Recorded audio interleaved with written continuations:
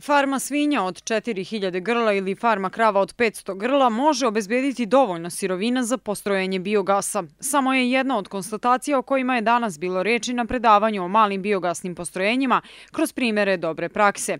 Predavanje je omogućila opština Stara Pazova u saradnji sa GIZ-om, Nemačkom organizacijom za saradnju. We are today here uh, in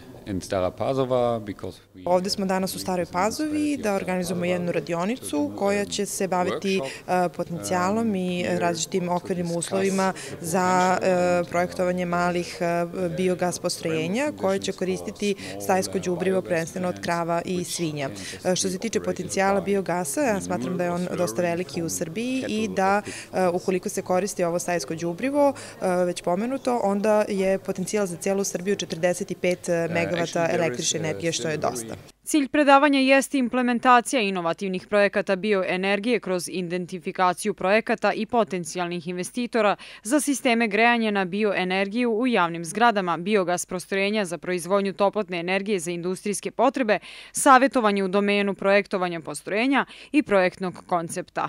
Manure from cattle or pig farms actually is a zero cost. Da pomenem samo neke od prednosti ovog projekta. E, bitno je reći da je stajsko đubrivo e, izvor koji dolazi bez ikakvih troškova zapravo, a ono se pretvara u električnu i u toplotnu, toplotnu energiju uz pomoć ovih postrojenja za biogas. Takođe, to dovedi do dodatnog prihoda za poljoprivredna gazdinstva, naročito za ono koje imaju više od 400 krava i više od 4000 svinja, a ima i povoljan efekat na životnu sredinu, pošto se drastično smanjuje emisija metana u atmosferu, a takođe e, taj stajnjak se prerađuje u ovim postrojenjima, tako da na kraju dobijamo džubrivo visokog kvaliteta za e, zemljište, a takođe dovodi i do smanjenja neprijatnog mirisa.